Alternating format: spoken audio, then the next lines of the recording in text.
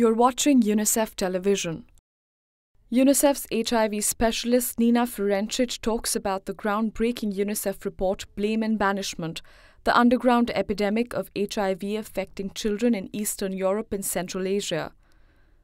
The report highlights photographs that captured the lives of homeless children on the streets of Odessa, many of whom were HIV positive and banished from their homes to a life without hope the report there is a case of a girl Yana who was who ran to the streets at the age of 8 she got together with other street children. She survived by selling sex using drugs uh, and she was a very very sad child.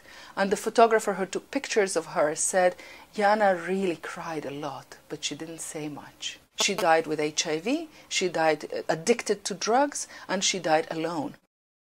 That photograph is in a way uh, unfortunately it's an emblem. The children in odessa who are really living uh, living on the streets in the gutters under the ground in these heating pipes and so on. That is really the worst situation. The report describes the epidemic as underground because it is an epidemic that many governments fail to recognize.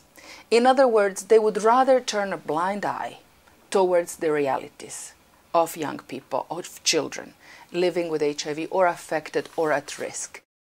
The cause is a combination of factors. It has to do with economies in, tra- in, transition, young people not finding jobs. It has to do with violence and abuse in the families. It has to do with economic hardship. And, uh, and, and a lot of families finding themselves on the brink. They cannot cope with the situation. So they don't find their place in society. You've been watching UNICEF Television.